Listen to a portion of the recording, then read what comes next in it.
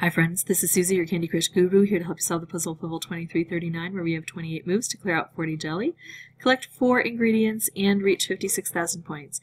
The ingredients are here and this is relatively self-working since they're right over the receptacles as long as we can collect enough sugar keys from these two dispensers and allow the um, keys to open up these sugar chests, which is really tough to do because this licorice gets in the way and there's more licorice set to spawn out from these dispensers.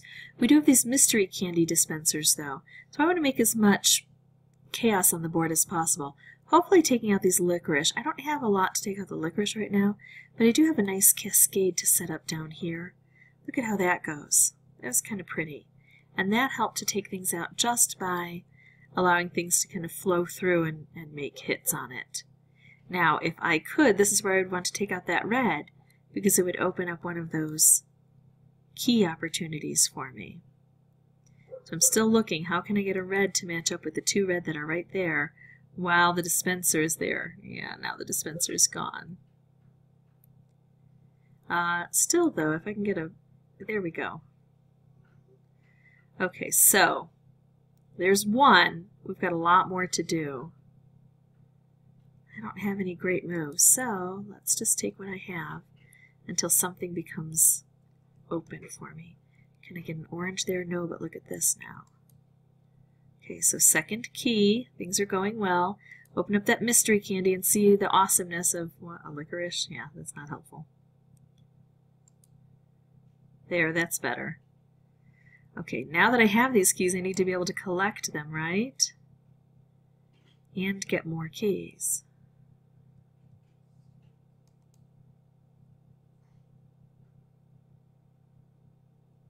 Huh.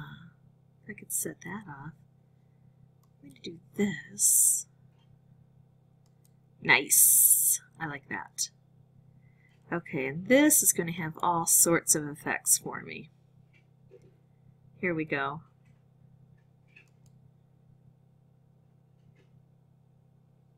Okay, so I only need two keys, and I've got them both on the board. So now I need to consider my um, the jelly I still have. Two of these jelly are going to be here. So that's two, three, four, five, six, seven, eight. That's where the jelly is that I need to remove. I don't have any great moves, but maybe I can get a mystery candy to help. Uh, nope, not quite yet.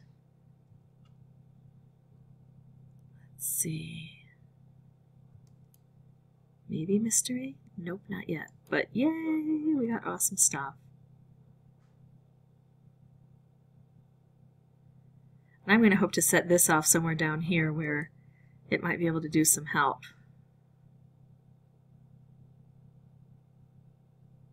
Because I don't have this area open yet.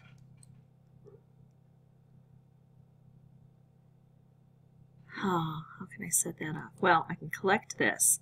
So that's now gone, and now I can focus on these remaining bits. There we go, there's one.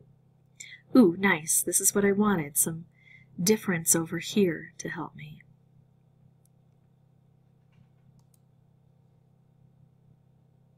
Okay, how can I set this off where it is? I just can't reach down there. There we go. Nice. So two more. One, two. And this is only my second playthrough for recording purposes, but I know how tough this is and I'm going to be very tempted to,